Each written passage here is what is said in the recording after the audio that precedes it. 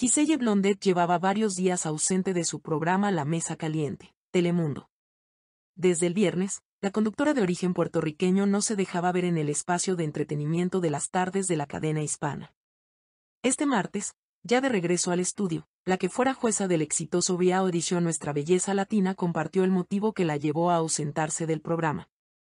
Ya estoy aquí y no saben lo feliz que estoy, expresó Giselle nada más iniciar el show. Hoy se celebra el Día de la Virgencita de Guadalupe y tengo que decir que yo falté el viernes y ayer no porque estaba de vacaciones, sino porque a mi nieto Liam, de dos añitos, le estaban haciendo una operación de su corazoncito, reveló. Una cosita que tenían que sacarle del área del esófago y eso, después yo les cuento con más detalle. Lo más importante, continuó la presentadora, es el milagro que Dios siempre es tan bueno y nos concede. Ver a mi nieto que lo operaron el viernes y hoy está corriendo es algo bello. Giselle aprovechó la ocasión para agradecer públicamente a su compañera Mirka de Llanos porque ella me estuvo preguntando y estuvo orando también. Sabíamos que iba a haber un milagro, dijo Mirka.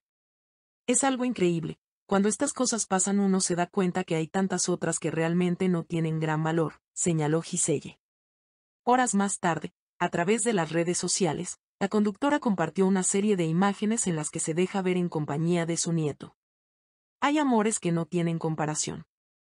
Cuando ya pensábamos que el amor más grande e incondicional aquí en la tierra era hacia nuestros hijos, llegaron los nietos.